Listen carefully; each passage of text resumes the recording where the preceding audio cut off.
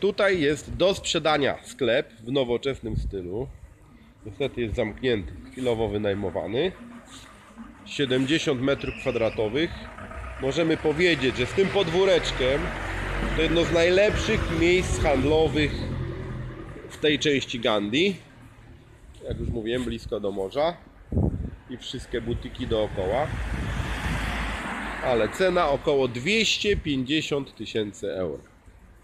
Jak ktoś jest zainteresowany, to też polecam.